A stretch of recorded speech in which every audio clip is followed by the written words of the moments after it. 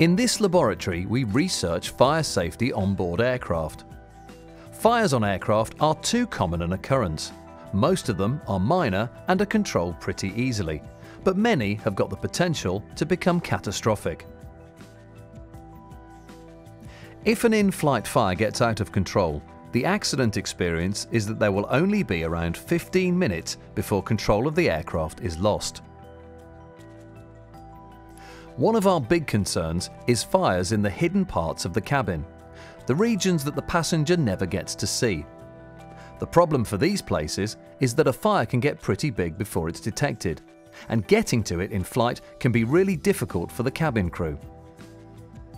Many of these fires could have been avoided with better awareness of some of our research findings. So this video shows research results showing what can happen in maintenance that might result in a fire and how these problems might be avoided. However, this video is to provide background information and is not a substitute for following your company procedures, which is essential. A lot of what we have to say is about the electrical wiring system, but it's wider than that. There's been a lot of work in recent years to reduce the risks of fire, but there's still more to be done. Recent research has highlighted the risks posed by contaminated thermal acoustic insulation.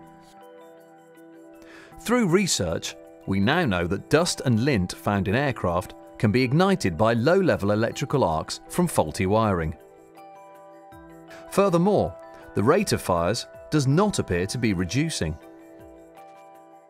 Wiring best practice is well known, but not always effectively carried out. That's why it's essential to follow the procedure of your organisation exactly.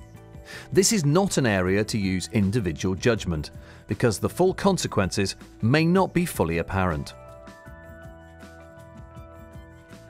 In summary, for wiring, it comes down to clean and protect as you go, because it's not often appreciated how easily the wiring system can be damaged.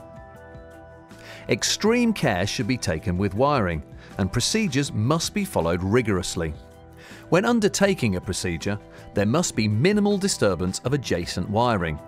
It must be returned to normal configuration in accordance with applicable maintenance instructions. Even minor displacement of wiring can damage insulation, leading to subsequent arcing or failure. Use extreme care to protect wiring from mechanical damage by tools. Do not allow debris to contaminate wiring. Once contaminated, it's very difficult to remove. Cabling faults leading to electrical arcs are a real concern. It's possible to have a significant arc without the breaker popping. This can ignite the wiring insulation and can lead to dust and lint igniting, causing an in-flight fire. We've replicated the effect in the laboratory, with dust and lint collected from an aircraft operated by a major airline. It's not just dust and lint that's of concern. The thermal acoustic insulation itself can become contaminated. This report found contamination weighing more than 160 grams per square metre on an aircraft. The contamination was from dried corrosion inhibiting compounds, cotton fibres, mineral particles, metal fragments and insects. There was a fire, fortunately on the ground. In-flight entertainment is a frequent cause of problems, it's advisable to match the cable standards of the airframe manufacturer when working with these systems. Lighting is a common problem. Wiring in the vicinity of hydraulic systems is a particular concern to avoid any contamination from hydraulic fluid. It is not generally realised that even fire-resistant hydraulic fluids will readily burn under certain conditions.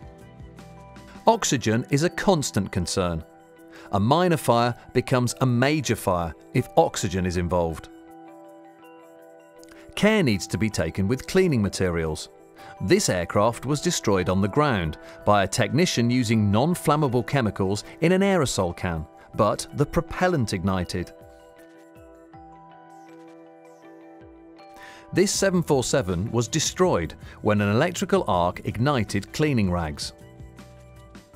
There's been much research about fire safety, but it counts for little if it doesn't make a difference in the real world. My closing message is that aviation is so safe because good procedures have been developed, and it's crucial that they are followed exactly.